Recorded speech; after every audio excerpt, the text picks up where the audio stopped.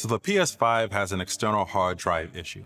Basically, any external storage you plug into this and you have it formatted to work with PS4 games, basically being able to transfer your games from internal storage to external storage, which are PS4 games, and you'd be able to play off of that the system will either crash in the middle of you playing a PS5 game, it'll crash while you're going through the user interface itself, or it might crash when it boots up. It just constantly just crash, crash, crash.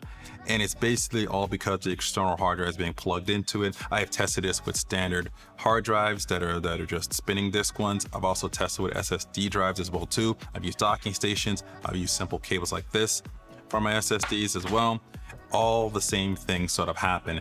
And it's when an external storage is formatted to work with PS4 games where this happens because I did use USB storage in terms of getting video captures off of this and that doesn't have this problem. I can have that plugged in and be just fine. But when it's formatted to work for PS4 games is when we run into this particular issue.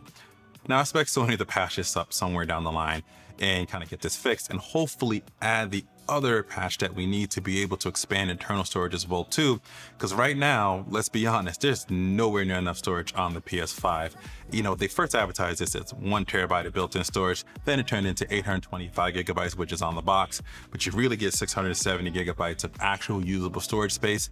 all you gotta do is download a few PS5 games and you'll find out you're not gonna have enough space. So really being able to expand that storage, use USB storage properly without things crashing, or being able to just expand it internally is just a very needed thing. And I want to see that update come very, very soon down the road. And even when it tries to fix it, so there could be a case where you see that black screen of death, and then you have the drive plugged in and it says that there's some error, there's something wrong with the USB storage and it needs to fix it. You can have it run through the fixing process, but eventually it either boot right back into the UI and then crash immediately, or it will just not boot. You just get the blank black screen of death here with it. So doesn't matter with anything with this. So this is really focused mainly on PS4 games that are that are that are transferred over to a PS4 formatted external drive, whether it's SSD or the standard spinning hard drive, and you're trying to play games off it, or you just simply have it plugged in, you will see system instability. So Sony, hopefully you patch this up real soon. I'm pretty sure that they will but this needs to come to much, much, much sooner for a lot of folks out there because a lot of people that have a large gaming library, especially if they've been playing games, you know, since the original PlayStation or have a lot of stuff on their PS4 and looking to upgrade and play those games, they're want to have some storage options because you just don't give us enough built in here. So hopefully this is top priority coming out. And I wanted to put this video out, obviously not to bash Sony. I just wanted to make more people aware of it and let them know that they're not going crazy, that this is actually happening. And it's probably external storage that's the issue. If you unplug the storage, you won't have any problems.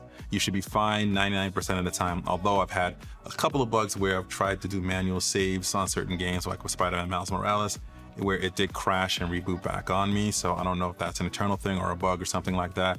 But we need to kind of get this updated fixed and working better so we have better storage options coming up in the near future. So hopefully this will work out. Hopefully Sony will say something. Post your comments below. Let me know if you guys ran into this and if you've seen different things. And from what I'm talking about here, maybe you have a solution that's available that we need to work in intermediate outside of just unplugging it and not using the storage at all until uh, Sony makes an official fix for this on the PS5. But let me know in comments below. Also check out all our other Sony videos as well too. We have stuff. If you can't get a PS5, watch our PS5 unboxing so you can see what it comes with and again because it's still a great console. Also, if you want to see what the UI is, tips and tricks, and just see a full menu of the system, we have that video available here as well too. So choose one of those or check out the playlist here. And as always, thanks for watching.